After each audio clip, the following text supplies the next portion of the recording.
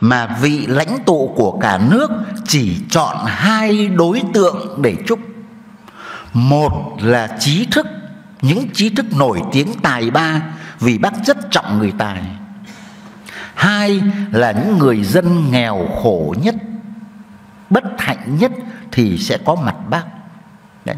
bác đến tận một cái ngõ nhỏ nghèo nàn ở ngay trong hà nội lúc bây giờ mà đêm giao thừa lạnh ngắt khói hương, một cái nén hương cũng không có. Đàn con thì nheo nhóc, người phụ nữ vì chồng mới mất. Mà.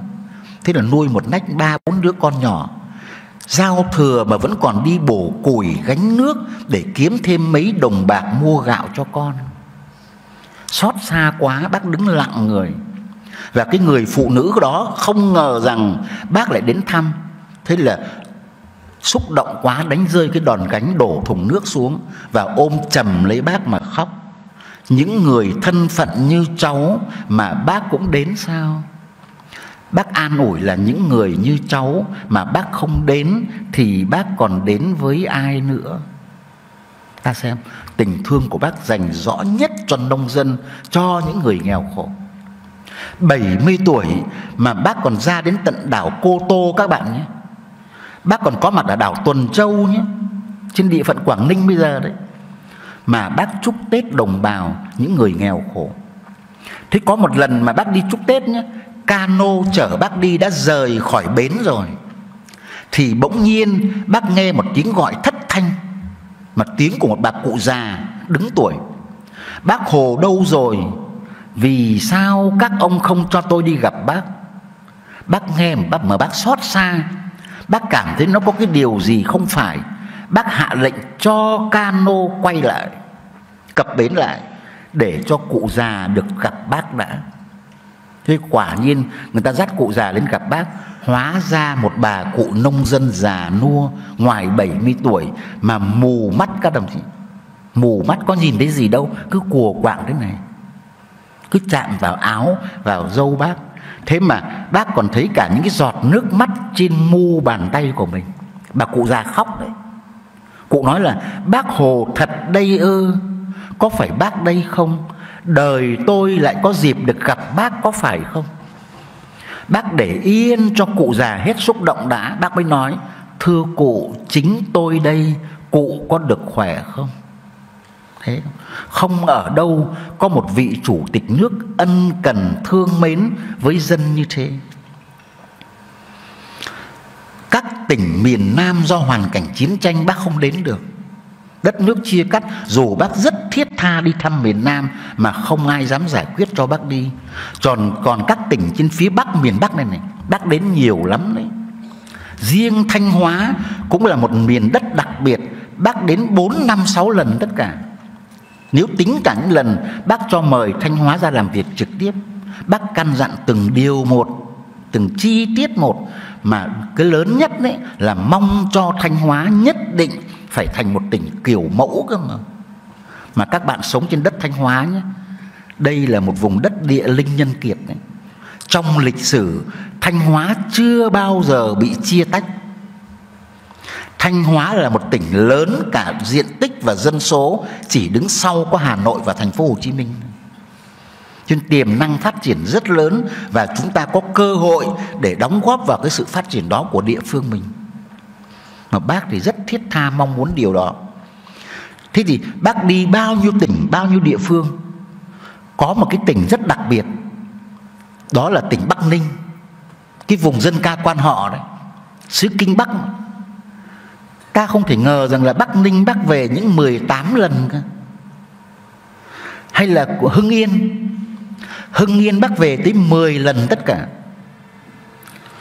Vĩnh Phúc, Trước đây là Vĩnh Phú, Bác về 8 lần tất cả. Thái Bình, Bác còn ngủ lại một đêm ở huyện Vũ Thư, Tổng cộng là 6 lần về Thái Bình. Còn những tỉnh xa xôi Việt Bắc, Tây Bắc Đều có dấu ấn của bác hết. Bác không đến được nhiều Thì bác bù lại bằng gửi thơ. Còn quê hương Nam Đàn của bác rất gần với chúng ta đây. Các bạn có thuận lợi là gần quê bác ở Nam Đàn. Hãy tranh thủ những lúc có điều kiện về thăm quê bác nhé. Nhất là làng Sen là quê nội, Làng Hoàng Trù, Tên nôm là làng Chùa, là quê ngoại, Nơi bác cất tiếng khóc chào đời chính trên cái mảnh vườn làng chùa đó mẹ Hoàng Thị Loan sinh bác ở đó nên là quê ngoại. Chứ còn thật ra, theo gia phả, theo sử sách đấy, thì quê quê ngoại thực sự của bác, cái nôi đầu tiên ấy là Hưng Yên cơ. Huyện Khoái Châu, tỉnh Hưng Yên. Xã Hồng Tiến, huyện Khoái Châu, tỉnh Hưng Yên. Bây giờ có bàn thờ mẹ bác ở đó. Đôi câu đối mang từ làng chùa, làng sen về đến Hưng Yên để thờ đấy các đồng chí thì ta mới biết rằng là bác dành tình cảm đặc biệt cho các địa phương, trong đó gắn bó với tình cảm máu thịt của chính gia đình bác. 10 năm cuối đời, tức là từ năm 1960 đến năm 69 trong khoảng 10 năm đó, từ lúc 70 tuổi đến 79 tuổi, ta không thể ngờ được sức đi của bác nhiều như thế. Ai lại bác có mặt 700 lần với nông dân? Ở các làng quê thôn xóm khắp cả miền Bắc một lãnh tụ tuổi cao sức yếu mà lại 700 lần trong 10 năm cuối đời đến thăm nhân dân, nhất là nông dân thì đây là một bài học vô giá cho chúng ta về phục vụ dân, về quan hệ mật thiết với nhân dân. Đấy, bác là một tấm gương. Đấy. Thì đến cái sự kiện về bác năm nay gắn với lịch sử là như vậy. Ngoài ra tôi muốn nói với các bạn ở đây, nhất là đây có các đồng chí nữ này, các bạn có nghe tin là gần đây người phụ nữ mà được bác đích thân chọn kéo cờ trong ngày độc lập vừa mất không? Đã ra đi rồi. Lúc đi là 95 tuổi. Giáo sư Lê Thi Lê Thi là bí danh Bà ấy là Dương Thị Thoa Bà ấy là con gái của một học giả nổi tiếng Trí thức lớn là giáo sư Dương Quảng Hàm mà bác rất trọng nhân tài. Bác chọn người con gái của một trí thức để kéo cờ trong ngày độc lập. Kéo cờ phải có hai người hai người đều chọn phụ nữ cả. Người thứ hai là một phụ nữ người dân tộc thiểu số, dân tộc tây ở cao bằng, là du kích, bà bế thị loan. Rồi sau này bà loan, bà lấy ông hoàng văn thái là đại tướng, thành phu nhân đại tướng, thì đổi tên là nguyễn thị loan thì bà loan vẫn còn sống, nhưng mà bà lê thi đã mất, vừa mới đi xong 95 tuổi. Bà ấy sau này thành một giáo sư, tiến sĩ, phụ nữ mà đứng đầu viện triết học Việt Nam.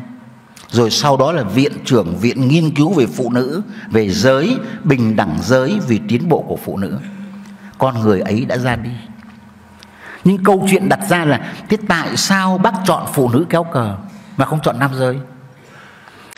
Đây là cả một sự tinh tinh tế, tôn vinh của bác dành cho phụ nữ. Trong lịch sử dựng nước và giữ nước Việt Nam thì hai bà trưng phất cờ khởi nghĩa. Từ đầu công nguyên, giành độc lập. Thì bây giờ nước Việt Nam mới ra đời này, vinh quang này dành cho phụ nữ. Để tiếp nối truyền thống, cho nên chọn phụ nữ, không chọn nam giới. Bác là như thế đấy.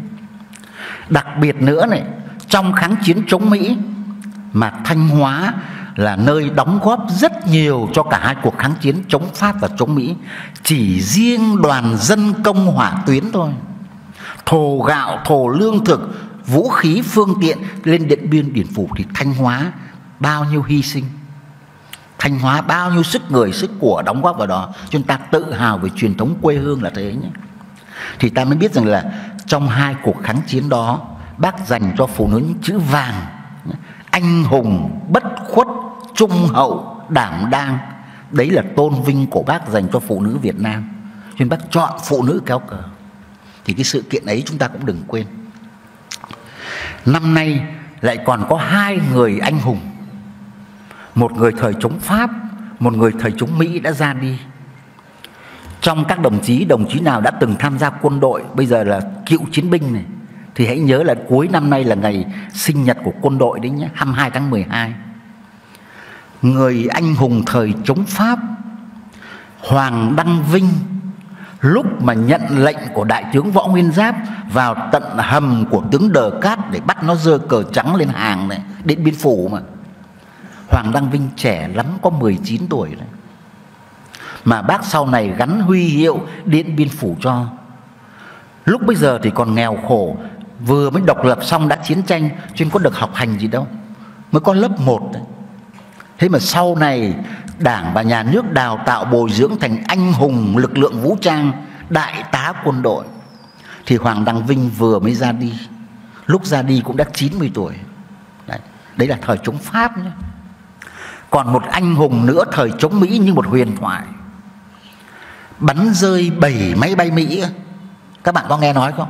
Anh hùng Nguyễn Văn Bảy bảy máy bay Mỹ. Cách gọi của miền Nam là gọi con cái theo con số mà. Anh là Nguyễn Văn Hóa nhưng mà con thứ bảy nhưng gọi là anh Bảy. Anh bắn rơi bảy máy bay Mỹ. Quê ngay ở Đồng Tháp. Đồng Tháp lại là nơi để phần mộ của bố bác, cụ phó bảng Nguyễn Sinh Sắc. Anh Bảy sinh trưởng trong một gia đình nông dân rất nghèo khổ, Không được học. Chỉ học hết lớp 3 thôi. Đã phải đã phải đi bộ đội, Đi du kích. Thế rồi là đúng cái dịp mà Hiệp định Geneva, Thế là tập kết ra miền Bắc, Nguyễn Văn Bảy có mặt trong cái đội quân tập kết ra Bắc. Thế mà có lớp 3 thôi nhé Lớp 3 Đến mức mà bố tiến con ra mà ra Bắc, mua tặng cho con một chiếc đồng hồ đeo tay để xem giờ đấy các đồng chí. Mà anh còn không đọc nổi chữ số La Mã cơ mà. Có lớp 3 thôi thế mà ra đến miền Bắc gặp bác Hồ. Và bác dặn là cháu phải đi học học giỏi. Và bác chọn cho đi học phi công ở Liên Xô cơ. Phải, bác dặn là phải bắn rơi nhiều máy bay Mỹ, giải phóng miền Nam, lái máy bay đưa bác về thăm đồng bào miền Nam. Chỉ vì lời dạy ấy của bác mà khó khăn mấy cũng phải vượt qua, không dám bỏ đâu thế bây giờ câu chuyện đặt ra là thế này. Thế lớp 3 thì học thế nào được? Ít nhất phải là hết phổ thông trung học chứ, tức là lớp 10 hay lớp 12 bây giờ đấy thế mà học được đấy các bạn. Ta mở một lớp bổ túc văn hóa đặc biệt dành riêng cho Nguyễn Văn Bảy để kịp đi học Liên Xô.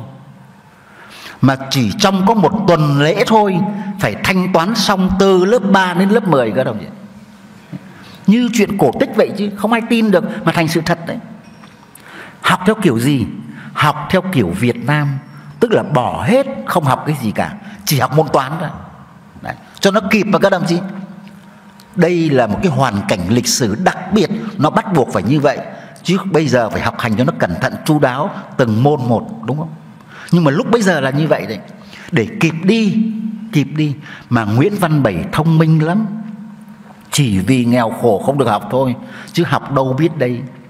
Anh ấy điểm xuất phát thì thấp như thế mà lọt qua được vòng kiểm tra để đi học phi công liên xô, đâu có là chuyện dễ. Thế nhưng đến cái vòng lửa thứ hai thì mới chết dở là học ngoại ngữ.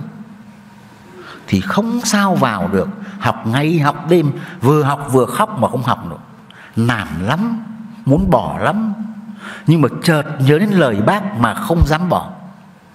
Các bạn thanh niên có nhớ lời của bác không? Không có việc gì khó. Chỉ sợ lòng không bền, đào núi và lấp biển, quyết chí ắt làm nên cơ mà. Đấy. Thì ta mới nhớ rằng là Nguyễn Văn Bảy vượt qua tất cả mọi thử thách, cuối cùng trở thành một phi công xuất sắc, bắn rơi 7 máy bay Mỹ mà thế giới họ quy định là chỉ cần bắn rơi năm máy bay của đối phương là đã công nhận là phi công đẳng cấp rồi. Mà anh bắn rơi 7 cái. Nhưng cái điều cảm động là khi báo tin cho bác là anh Bảy đã bắn rơi được 7 máy bay Mỹ, thì bác lập tức ra lệnh, giữ chú Bảy lại, không cho bay nữa các bạn có hình dung bác hồ nghĩ thế nào? Tức là nhìn xa trông rộng bay nữa có thể chết chứ. Trong chiến tranh ai dám đảm bảo? Chỉ toàn có thắng lợi. Bác nhìn xa trông rộng lắm bác chủ tính rất xa giữ chú bảy lại làm huấn luyện viên ở phía sau thôi không cho bay trên bầu trời nữa giữ lại bảo toàn lực lượng. Đấy. Thế và quả nhiên nguyễn văn bảy sau này khi ngày bác mất ấy, anh được chọn vào cái đội phi công đặc biệt bay trên quảng bầu trời ở bay rất thấp trên quảng trường Ba Đình để vĩnh biệt bác trong cái lễ truy điệu. Anh ấy kể là vừa bay vừa khóc. Nhìn xuống mặt đất cả một biển người khóc bác mà đang giơ tay thề, anh cũng vừa bay vừa khóc. người ấy đã ra đi đã vừa mới ra đi xong ở Việt Nam có ba người anh hùng trong thời chống Mỹ này, mà bắn rơi rất nhiều máy bay Mỹ xâm lược. Anh hùng Nguyễn Văn Bảy thì 7 chiếc nhé. Anh hùng Phạm Thanh Ngân thì 8 chiếc. Phạm Thanh Ngân sau này được phong thượng tướng cơ, là chủ nhiệm tổng cục chính trị và trong ủy viên bộ chính trị cơ. mà Phạm Thanh Ngân lại được cử làm đội trưởng cái đội bay trên bầu trời Ba Đình. Mà anh phải bay trước một hôm lên Lạng Sơn để khảo sát vấn đề sương mù đảm bảo độ an toàn cho chuyến bay. Đấy, Phạm Thanh Ngân người nữa là anh hùng Nguyễn Văn Cốc bắn rơi nhiều nhất 9 máy bay Mỹ. Mà người mà bác tặng hoa ra đấy bó hoa bác tặng đơn vị phòng không không quân ấy, trong đó có Nguyễn Văn Cốc đấy. Mà lúc đó là lúc bác yếu lắm rồi 7 9 tuổi. Bác bảo thế nào? Năm mới, bác chúc các chú tiến bộ nữa, tiến bộ mãi. Và các chú sẽ có nhiều cốc hơn nữa. Nhiều cốc nữa là nhiều anh hùng như thế nữa. Tạm không ngờ rằng đấy là lần chúc tết cuối cùng của bác cho quân đội. Cái lãng hoa của bác bây giờ vẫn còn nguyên, thiêng liêng như thế đấy. Nó như một cái dấu tích của lịch sử. Có một nhân nhân vật này rất cảm động mà cùng quê ngoại với bác ở, ở Hưng Yên. Một vị trung tướng lừng danh. Thời bấy giờ không có thượng tướng dưới đại tướng là trung tướng. Nhân vật số 2 cơ mà trung tướng Nguyễn Bình các bạn có nghe bao giờ không? Người Hưng Yên. Có một tư chất quân sự gần như trời cho. Đã từng làm tư lệnh quân khu Đông Triều và Hải Phòng khi còn thanh niên cơ. Thế mà ông ấy rất là nhiệt huyết yêu nước ông ấy vội vàng gia nhập một cái tổ chức tên là Việt Nam Quốc dân Đảng. Ông ấy tưởng đấy là đảng đảng cách mạng ông vào. Vào rồi mới biết là sai lầm. Đấy là một cái tổ chức manh động, phiêu lưu, mạo hiểm, chỉ chủ trương ám sát cá nhân thôi. Chứ không phải là một đảng cách mạng chân chính. Ông ấy biết là sai, ông ấy rút lui ra ngay. Thì nó trả thù rất tàn bạo. Nó cho người bắt lại và nó khoét cả một cái mắt trái của ông. Trên lúc phong trung tướng còn có một mắt đeo kính đen thế này. Nguyễn Bình bậc danh tướng mà quê Hương Yên cùng với quê ngoại của bác. Thế mà vì đã vào Việt Nam Quốc dân Đảng, bây giờ muốn trở thành đảng viên cộng sản thì phải vượt qua những thử thách rất là khó khăn. Ai lại thử thách dòng dã 10 năm liền 17 năm liền chứ? Từ năm 1930 đã bị tù côn đảo rồi. Đến tận năm 1947 Tức là 17 năm mới kết nạp đảng Về thử thách. Mà năm 45 trước đó, Bác đã cử đi miền Nam. Bác đã giao cho làm tư lệnh chiến trường Nam Bộ này. Ta học bác nhé, Bác có một cái nghệ thuật Dùng người rất tài giỏi. Chỉ cần tài, cần đức thôi, Không câu nệ đảng viên hay không đảng viên. Đấy. Đến chủ tịch nước, Bác cũng chọn người ngoài đảng cơ mà. Bộ trưởng trong chính phủ của bác năm 45 46 đấy hầu hết có đảng viên đâu. Chỉ cần có tài có đức thực sự thôi, không câu nệ đảng hay không đảng. Đấy là bác Hồ. Nguyễn Bình cũng thế chứ. Chưa kết nạp đảng, chưa phong trung tướng, còn có một mắt đã giao cho cả miền Nam. Bác cho gọi về. Bác bảo tình hình nước sôi lửa bỏng lắm rồi. Nam Bộ kháng chiến mà. Chú lên đường ngay cho bác Bác giao cả miền Nam cho chú. Ta thấy học bác ở cái quyết đoán Đã chọn đúng người rồi Thì dùng ngay, Mà dùng phải tin, Mà chọn đi rất đúng, Cử đi rất đúng thời điểm lịch sử. Nguyễn Bình xúc động quá, Nhận lời của bác đi vào Nam, Mà bác ân cần tiễn đi. Thế là tranh thủ tâm sự với bác. Việc lớn bác giao, cháu không dám từ chối. Cháu rất lo có làm được không? Liệu có xứng đáng với tình tin cậy của bác không? Bởi vì đến giờ phút này khi lên đường, Cháu vẫn chưa phải đảng viên. Những cái lời tâm sự rất thành thành thật như thế. Bác nói thế nào? Đảng viên ư, Tổ quốc trên hết, Dân tộc trên hết, Chú lên đường ngay cho bác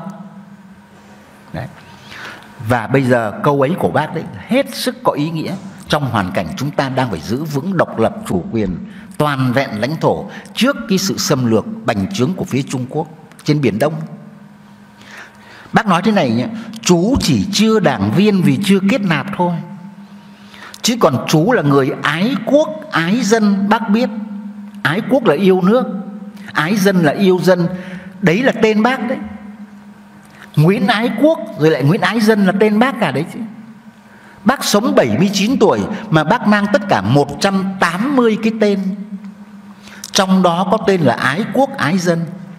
Bây giờ bác nói là chú là người ái quốc, ái dân bác biết, Bác tin chú và giao việc lớn cho chú Chú lên đường ngay cho bác Phải một người như Nguyễn Bình, Đầy bản lĩnh và mưu trí dũng cảm, Mới dẹp loạn được trên cái mảnh đất đó Chia năm xẻ bảy, Rồi là giang hồ đầu gấu, Lưu manh trộm cướp nổi lên, Và một tay Nguyễn Bình trị được hết, Lập lại được trật tự và giúp đỡ đồng bào miền Nam kháng chiến chống Pháp năm 45 46 đấy. Đến năm 48 thì phong trung tướng. Và năm trước đó, năm 47 thì kết nạp đảng. Kết nạp đảng xong phong trung tướng luôn.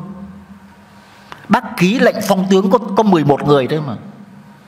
Một đại tướng là Võ Nguyên Giáp, một trung tướng là Nguyễn Bình, còn lại là chín thiếu tướng. Giỏi như Trần Tử Bình như Nguyễn Sơn như Trần Đại Nghĩa mà cũng chỉ thiếu tướng thôi. Nhưng mà trung tướng phải là Nguyễn Bình. Thì đủ hiểu bác cân nhắc như thế nào? Người như thế mà lại sớm hy sinh. Sau khi được tin Trung ương và bác quyết định gọi Nguyễn Bình trở về Việt Bắc trong năm 1951 ấy, cái năm mà để chuẩn bị đại hội đảng lần thứ hai ấy, ở Việt Bắc ấy. Thế là Nguyễn Bình về Việt Bắc đến đất Campuchia đi từ Nam Bộ ra Việt Bắc đi qua đất Campuchia địch nó bắn chết mà lúc mất có 43 tuổi mới có mấy tuổi đảng mấy tuổi tướng nhưng mà công trạng thì rất hiển hách cái đau đớn là mất năm 1951 mà phải mất 50 năm sau mới tìm được hài cốt năm 2001 mới tìm được hài cốt và tổ chức an táng trọng thể tại nghĩa trang, thành phố Hồ Chí Minh.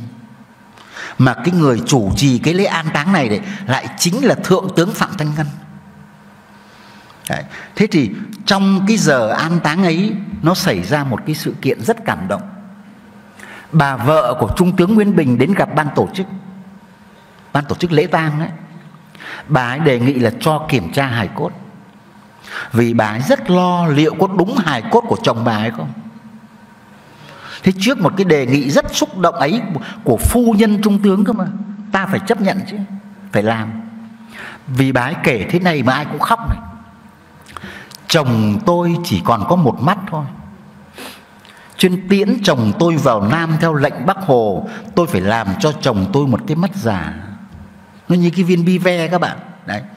Thể xác thì có thể tan giữa rồi 50 năm rồi. Nhưng mà cái cái cái vật ấy nó phải còn cơ, nó không phân hủy được. Thì mới đúng là chồng tôi. Tôi lại trực tiếp đính cho chồng tôi một chiếc khuy áo bằng kim loại, bằng sắt này. Thì cái đó cũng không phân hủy được. Nó có thể sãm màu đi thôi, nhưng nó phải còn thì mới đúng là chồng tôi ta nghe ta thấy có lý quá mà rất xúc động, ta cho kiểm tra lại. Thì các bạn có hình dung nổi thế nào không? Linh thiêng phù hộ của đất, của trời và của bác hồ. Thế nào mà vừa bắt đầu kiểm tra hài cốt thì ngay lập tức tìm thấy ngay hai cái kỷ vật đó. Tất cả òa lên khóc và tổ chức an táng trọng thể trung tướng Nguyễn Bình trên nghĩa trang thành phố Hồ Chí Minh đấy, bây giờ còn có mộ của cố tổng bí thư Nguyễn Văn Linh. Cũng người Hưng Yên, nhưng mà cả đời vì Nam Bộ, cho nên được gọi là người con của Nam Bộ. Đấy. Tôi nhắc lại việc này bởi vì chính tổng bí thư Nguyễn Văn Linh là người thông báo cho chúng ta biết về ngày giờ mất chính xác của bác là thế nào mà phải sau 20 năm ngày bác mất ta mới nói được. Chứ lúc đầu đấy, ta nói là bác mất ngày mùng 3 chứ, tháng 9 bởi vì lý do là để cho nhân dân qua cái ngày lễ đi đã. Đừng vì đau đớn quá mức. Thì bây giờ bác mất 20 năm rồi, Phải nói lại cho nó chính xác, Để ta làm dỗ bác cho nó chính xác. Thì nhân đây gặp đông đủ các bạn thế này, Tôi nói lại một lần nữa nhé. Trái tim bác ngừng đập đúng vào giờ viết di chúc Ta thấy có linh thiêng không? Viết di chúc giờ nào, tim bác ngừng đập đúng giờ đó. 9 giờ sáng. Còn thông báo lễ tang của đảng đấy, Nói là bác mất vào 9 giờ 47 phút sáng đấy, Thì theo lời giải thích của Thủ tướng Phạm Văn Đồng Là phải cộng dồn cả giờ cấp cứu.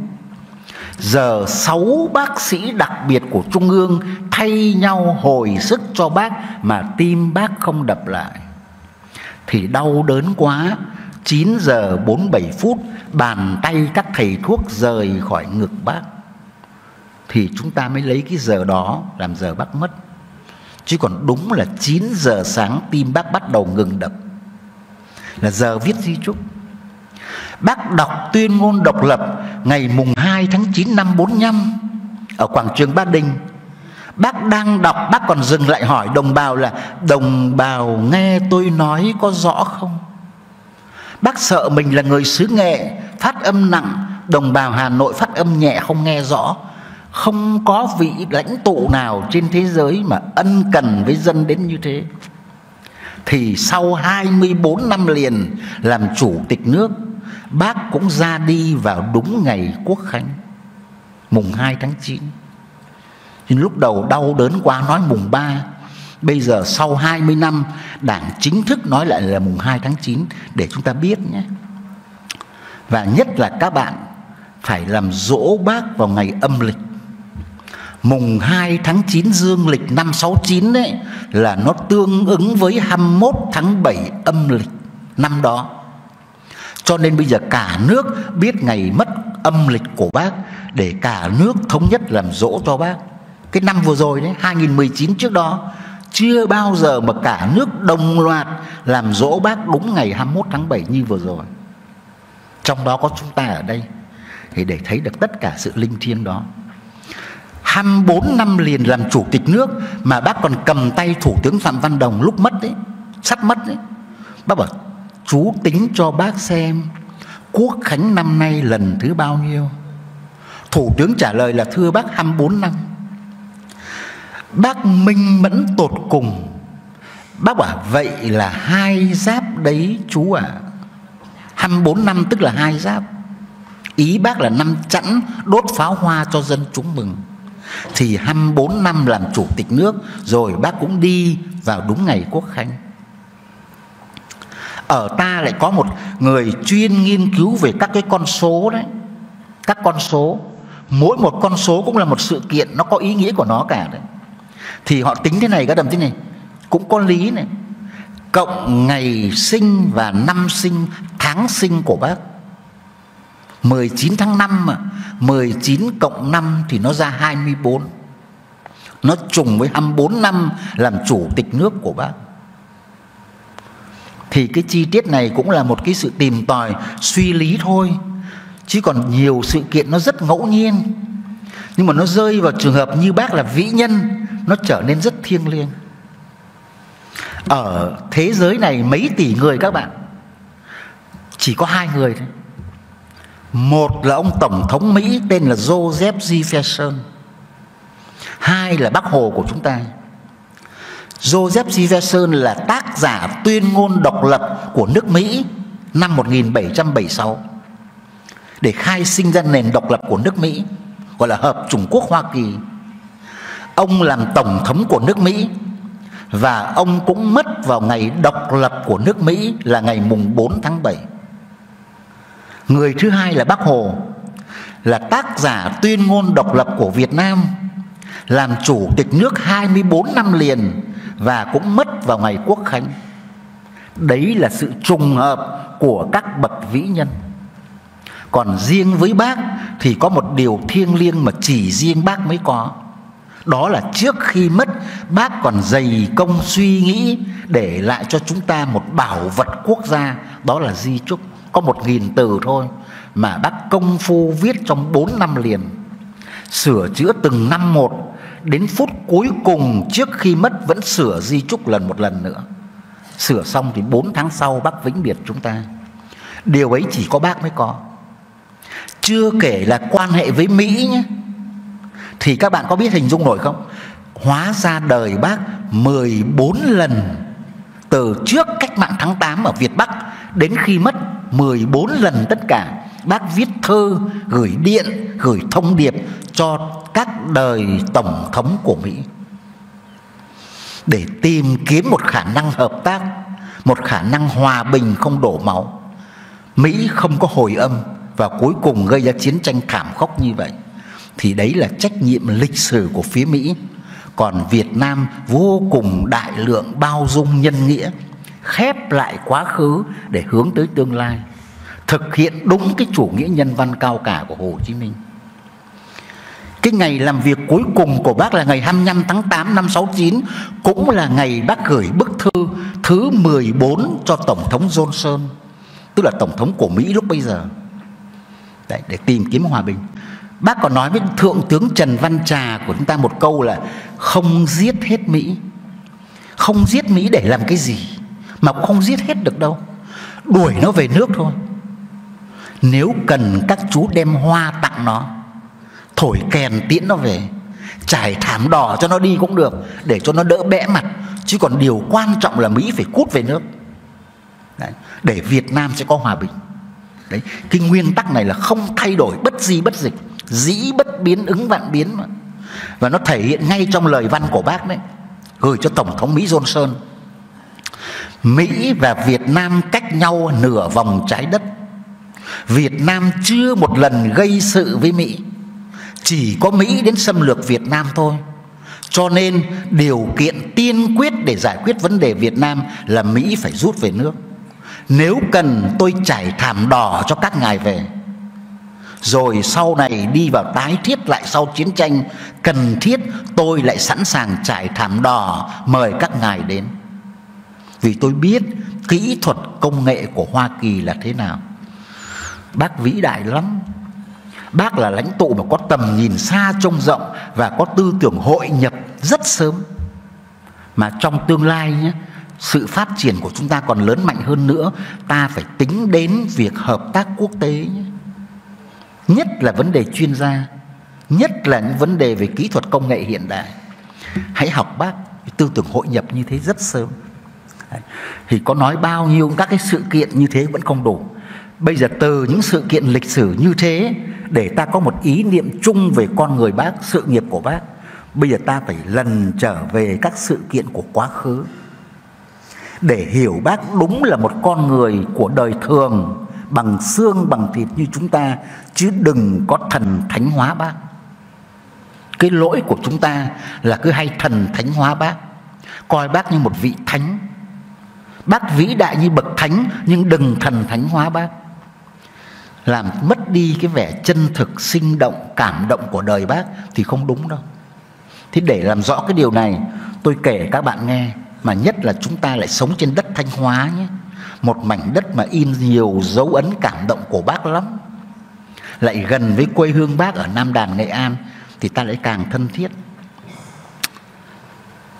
Thanh Hóa là còn là có Lam Sơn. Nói Lam Sơn là nói đến Lê Lợi và Nguyễn Trãi. Trong con người bác có hình ảnh của Nguyễn Trãi đấy. Trong con người bác có cả tâm hồn của Nguyễn Du đấy. Bác kết tinh tất cả mọi tinh hoa của dân tộc và thời đại. Một người như bác đấy So với những người thân khác của bác trong gia đình Thì bác là người sống thọ nhất. Bác còn ở với chúng ta được 79 mùa xuân. Chứ những người thân trong gia đình bác mất sớm lắm. Cho nên các bạn trẻ phải để tâm sức nghiên cứu về gia đình bác nhé Cuộc đời bác, con người bác này. Mẹ bác là bà Hoàng Thị Loan. Bà hàng Thị Lan của bác, Mẹ bác ấy sống được có 33 tuổi. Mà lại mất vào dịp Tết. Bà mất đúng ngày 22 tháng Chạp sắp Tết. Hôm sau 23 Tết là ngày đưa tang của mẹ. Lúc mồ côi mẹ, bác có 10 tuổi đầu. Bế em nhỏ trên tay có 4 tháng tuổi. Đưa mẹ lên núi, gọi là núi Tam Tầng ở Huế, để chôn cất mà bác nhờ bà con hàng xóm làm giúp cho. Chứ bác biết làm thế nào 10 tuổi đầu. Bác kể cho chúng ta nghe cái đau đớn của tuổi ấu thơ mà bác khóc cơ. Em nhỏ có 4 tháng tuổi. Mẹ mất rồi cũng mất theo. Mà lúc mẹ mất đấy thì bác lại đi mua thuốc về cho mẹ. Đi xin nước cơm, nước cháo hàng xóm nuôi em. Vì mẹ không có một giọt sữa nào bố thì đang ở tít, thanh hóa này. Ở núi rừng thanh hóa này, vì triều đình cử cụ đi chấm thi. Lúc đó thi ở thanh hóa, trường thi thanh hóa. Mà cụ lại mang theo con trai cả, tức là anh bác ông cả khiêm đi cùng. Chị gái là bà thanh ở lại trong quê ở nam đàn, vì bà ngoại đang ốm nặng. Thế là ở huế, chỉ có bác là lớn nhất mà có 10 tuổi đầu. Em nhỏ có 4 tháng tuổi thì mẹ chết rồi bác kể là mở cửa ra, cái ngôi nhà nhỏ bé tồi tàn ở ngoại ô huế đấy, bà làm nghề dệt lụa, dệt vải để nuôi chồng, nuôi con, thì mẹ đã chết lạnh trên khung cười. Bác hòa lên khóc, và em nhỏ của bác mới tội nghiệp. Có biết đâu là mẹ chết, em nhỏ cứ bò trên ngực mẹ để tìm sữa. Bác kể lại chi tiết này mà bác khóc đấy nhưng những cái ấu thơ, tuổi ấu thơ của bác trôi qua là những tuổi thơ cay đắng.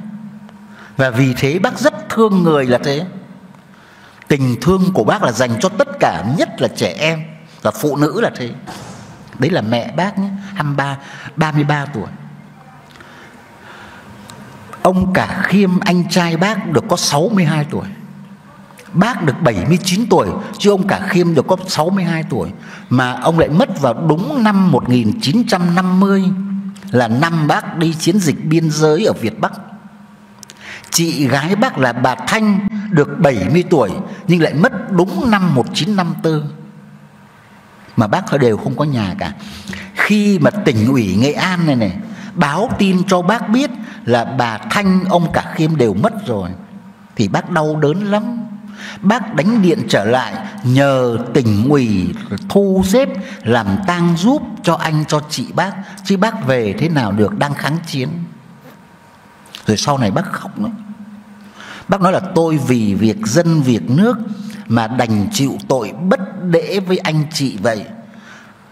Cũng xin anh chị tha tội cho. Và xin bà con, cô bác ở quê hương cũng lượng thứ cho tôi chỉ vì việc dân, việc nước mà tôi đành chịu tội bất đễ vậy. Để hiểu cho hết nỗi lòng của bác, cái chữ đạo hiếu của bác như thế nào nhé. Đấy là mẹ, đấy là em nhỏ. Ông cả khiêm là anh, bà thanh là chị gái.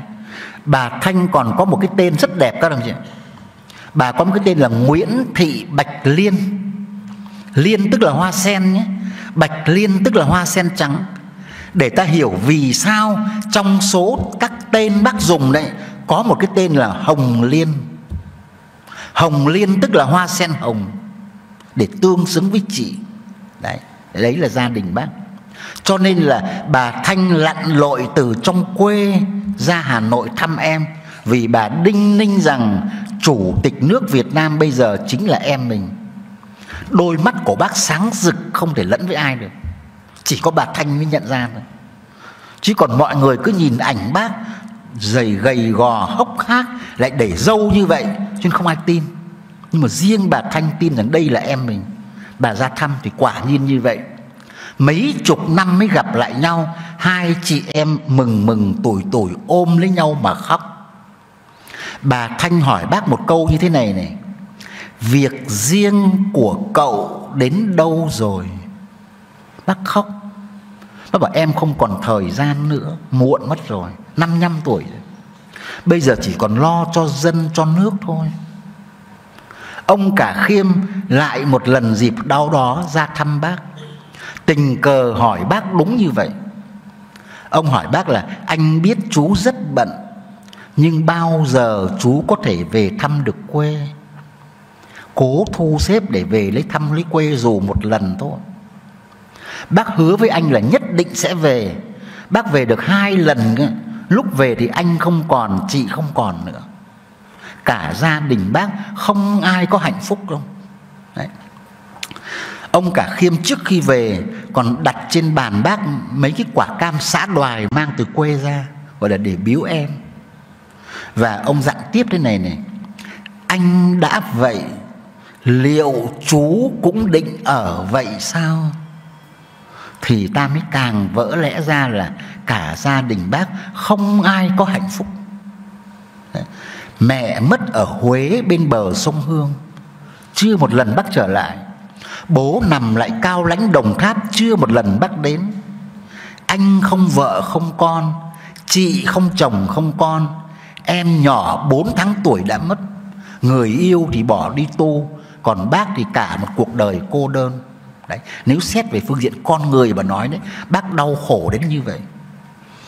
Chứ đừng nghĩ bác là ông thánh nhé. Dù bác vĩ đại như bậc thánh, nhưng vẫn là một con người bằng xương, bằng thịt như chúng ta. Và phải như thế mới hiểu đúng về bác. Đấy. thì trong gia đình bác những người thân như vậy. Thế còn bố của bác? Bố bác lại mất cô độc, không có một người thân bên cạnh ở tít tận cao lãnh đồng tháp, chỉ có bà con dân làng coi cụ là ân nhân thì làm tang cho cụ. Vì cụ bỏ hết mũ áo nhà quan về sống ẩn giật trong dân làng, dạy học, làm thuốc cứu dân, thì dân nuôi dưỡng cụ, làm tang cho cụ, coi cụ là ân nhân. Chứ có một người thân nào bên cạnh đâu. Đấy. mà bác cũng chưa bao giờ biết cái cao lãnh là thế nào, chưa bao giờ đến cả bác trước khi rời bến cảng nhà rồng nữa bác chỉ còn kịp về bình khê. Bình Khê là cái huyện nghèo nhất của tỉnh Bình Định lúc bây giờ, Vì triều đình nó lại bổ nhiệm cụ đi làm chi huyện Bình Khê. Bác đến đó để chào từ biệt cha. Lúc đến chào từ biệt cha Thì đúng là lúc mà cha đang đau khổ rông bão, Vì cụ đến Bình Khê nhậm chức cụ thả hết tù chính trị Yêu nước thương dân mà. Triều đình nó coi như là phạm tội chống lại nó. Nó cách chức hết Nó đầy ải cụ. Điệu cụ về Huế để trừng phạt. Thì lại đúng lúc bác đến tiễn biệt cha. Mà không ngờ Đấy cũng là lần cuối cùng Hai cha con gặp nhau. Ông bố của bác đấy ông ông Nguyễn Sinh Sắc Nguyễn Sinh, Sinh Huy đấy lại mất vào đúng cái thời điểm bác thành lập đảng. Bác chuẩn bị thành lập đảng năm 1929 1930 ở Trung Quốc ấy thì ở Cao Lãnh bố bác tắt thở mà không có một người thân bên cạnh. Đấy, gia đình là như vậy. Thế sau này khi mà đã tổ chức tang lễ cho mẹ xong rồi thì ban đêm năm hết Tết đến cô quạnh hai anh em ôm lấy nhau mà khóc. Bác dỗ em mà em không nín. Bác kể cho chúng ta nghe là bác tủi thân quá, bác khóc theo em không? Lãnh tụ kể từng chi tiết một tuổi ấu thơ cho chúng ta nghe đấy. Để đau cái nỗi đau của con người. Đặc biệt nữa này, khi mà ở ở quê ở Thanh Hóa Nghệ An cụ à, Nguyễn Sinh Sắc Nguyễn Sinh Huy lúc bây giờ lại chưa đỗ đạt thành danh phó bảng thế là nhận tin dữ là vợ đã chết rồi ông lập tức đi từ Nam Đàn về Huế, đoạn đường 400 cây số, để vĩnh biệt người vợ trên núi, chôn trên núi mà. Và cũng để mang hai con về. Hai con về tức là bác và em nhỏ. Em nhỏ tên khai sinh là Nguyễn Sinh Nhuận, nhưng không có sữa mẹ, đặt tên nôm là Nguyễn Sinh Xin. Mà con nhỏ có 4 tháng tuổi bế về trên con đường 400 cây số đường rừng, đường đèo, thì còn sức gì nữa? Chuyên cuối cùng Nguyễn Sinh Xin chết trên cánh tay của bác. Và phải đau khổ đến mức này này, phải tháo cánh cửa, đóng cái áo quan nhỏ xíu, tìm một tấm áo rách lót cái thi hài bé nhỏ của em đem đi chôn. Bác không quên một chi tiết nào về tuổi ấu thơ đâu để chúng ta đọc sách của bác nhé. Ta tìm cái câu này này, trẻ em như búp trên cành, biết ăn, biết ngủ, học hành là ngoan. Bác chỉ cần thế thôi. Lúc làm việc khuya, bác nghe tiếng trẻ nó khóc, bác xót xa lắm. Vì bác nhớ đến em mình. Bác bảo đồng chí cảnh vệ là chú vào tận trong bản, trong làng xem gì sao các cháu nó khóc nhiều vậy. Mà còn ho nữa cơ. Bác bảo đem chai mật ong của bác, bà con biếu bác, bác chưa dùng đâu. Cho các cháu nó ho nhiều lắm. Nghe tiếng khóc của các cháu mà bác xót lòng Vì không bao giờ bác quên được cái cảnh Em nhỏ chết trên cánh tay của bác Đấy Thì chúng ta phải hiểu bác như thế nhé Nếu chỉ dừng lại những người như vậy trong gia đình bác thì cũng chưa đủ Ta cần biết thêm dù rất ít thôi một là vì ta không có nhiều thời gian, Hai ta cũng chẳng có tư liệu. Ta cứ coi bác là thần thánh, Không nghiên cứu gì mấy đâu. Cho nên bây giờ tư liệu không còn. Các cái nhân chứng lịch sử mất hết rồi. Biết được chừng nào quý chừng đó thôi. Đó là chuyện cô Huệ.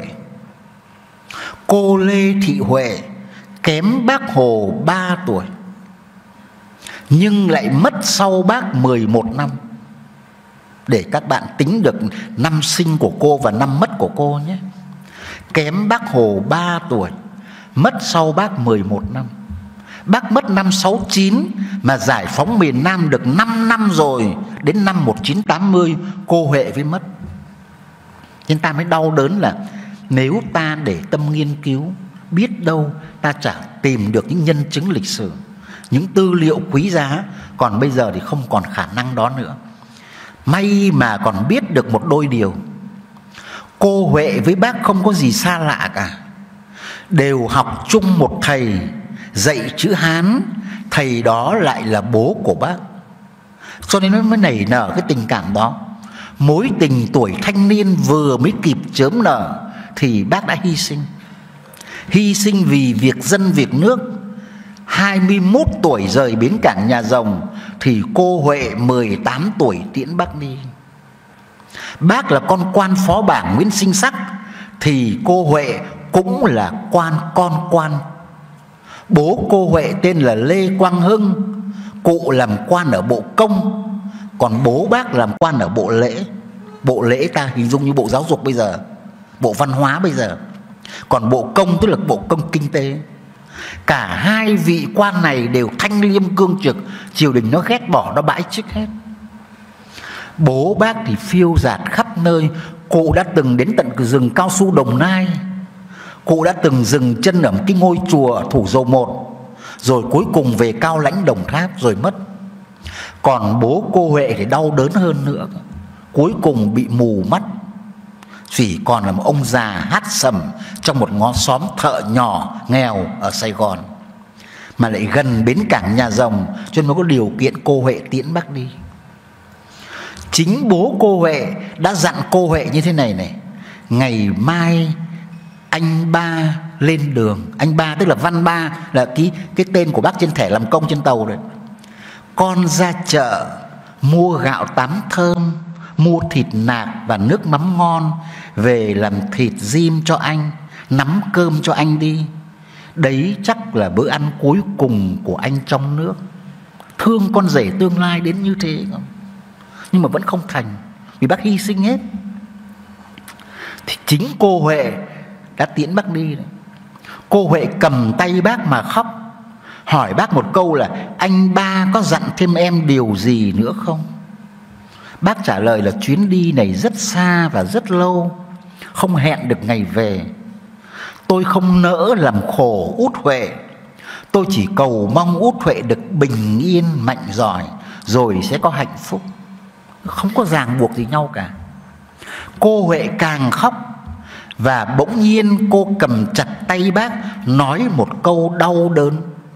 Cái câu ấy tình cờ nó vận ngay vào số phận của cả hai người.